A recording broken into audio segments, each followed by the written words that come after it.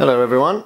Uh, this is going to be a slightly different video today. I just had an idea because I'm about to sell my old Hero 2 um, and I wanted to find out what the latency on these GoPros is once and for all because uh, I would always look around on the net and there was never actually any hard figure given on what the latency of the video out on the GoPros is as FPV cameras. Now if you've flown, flown for a while you know that there is latency on them and um, yeah, depending on how good you are uh, it is either a problem or not. I flew for a long time with the video out from the Hero 2 without any problem whatsoever and it was only when I got a little bit better and started using the dedicated board cameras, there's one there, that I noticed um, there was quite a lot of latency when I went back to trying to use a GoPro output, but by then I'd stopped using the Hero 2 and I was using the Hero 3,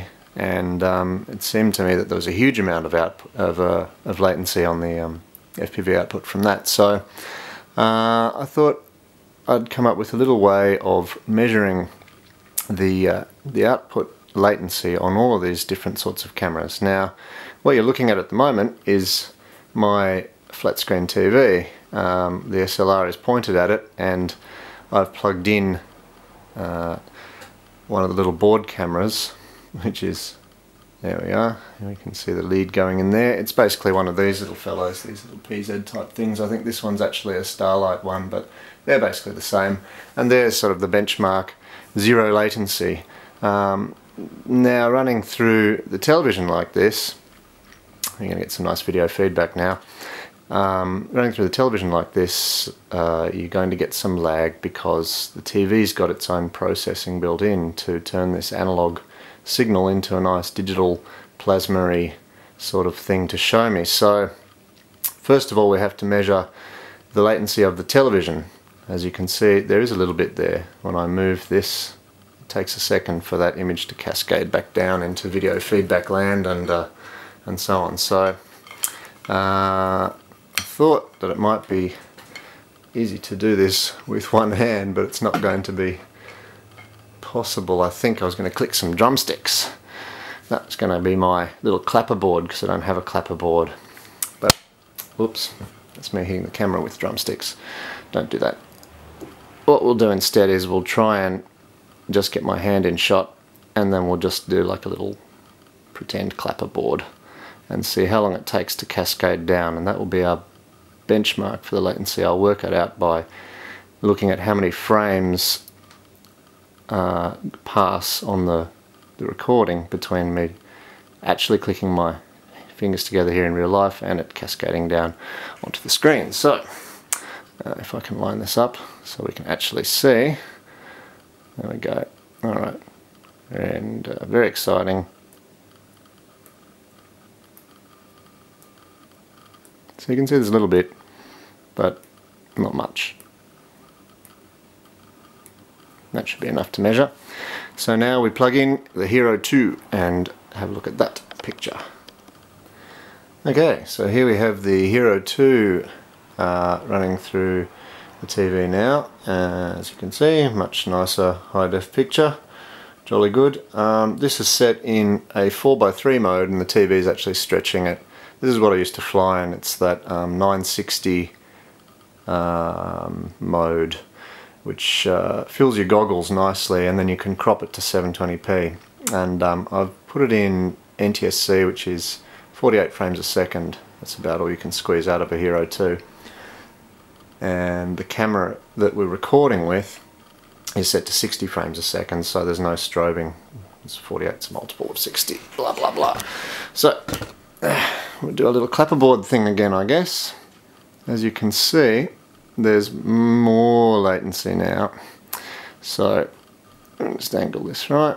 I guess it doesn't really matter where that goes. And we'll have a look at our little duckbill clapper and how long it takes.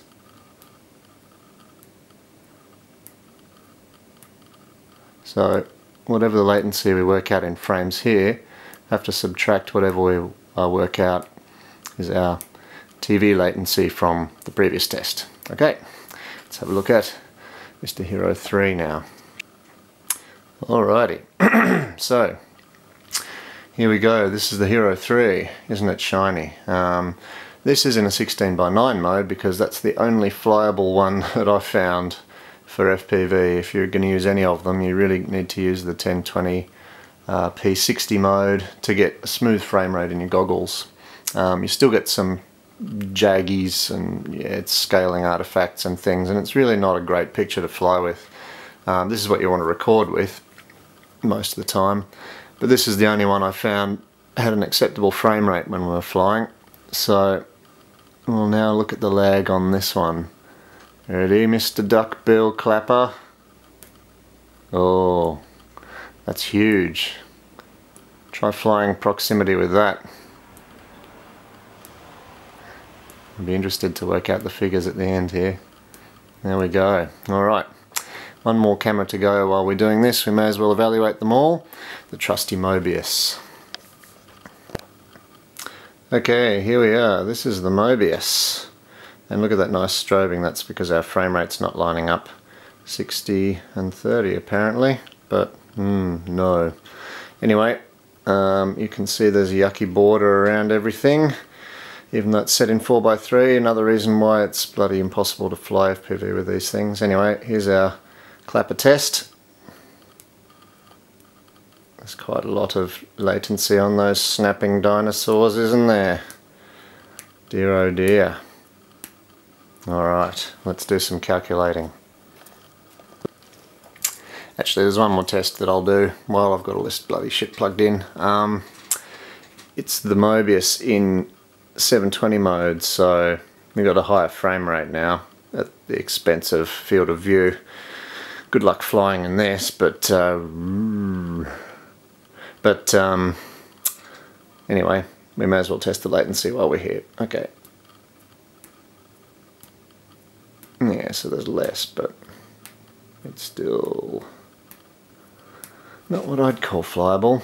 Alright time for calculation Radio, so the results are in. The uh, TV has a latency of around about 4 frames, which is 66 milliseconds.